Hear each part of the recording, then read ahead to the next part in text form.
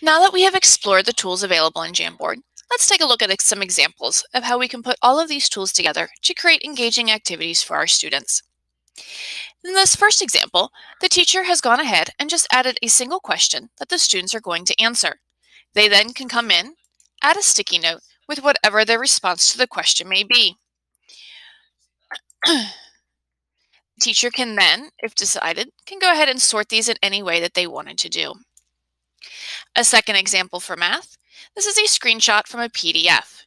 Students can then either come in and use the pen tool to fill in the answer, or again, utilize the sticky note to add sticky notes to solve the equations. In the section below, where we can see the number rod, again, the students can use one of the pen tools to go ahead and color in so they can demonstrate their understanding of this particular problem. For this hundreds chart, this was an image that was brought in from the internet and then sticky notes placed over top. This is then going to give the students the ability to move around and see what number is going to be hidden under the underneath.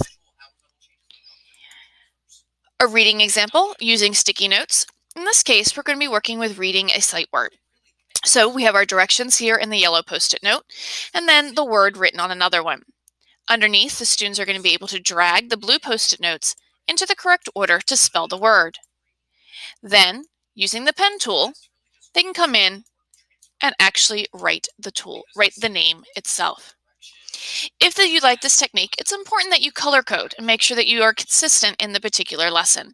Perhaps even given directions, that the directions will always be on the yellow post-it note, the word to build on the green, and then the um, post-it notes in blue where you can actually physically move those around. Another example, here's a story map. Again, this is simply an image that was clipped from a PDF. We can then come in and use sticky notes to fill in where the story, the elements of the story. This could be done whole group, it could be done individually, or perhaps allow students to assign students a separate section that they are required to fill in.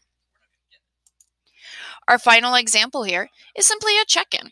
Have students come in, they can use their post-it note and indicate where they fall in the spectrum for what they learned today or within that particular lesson.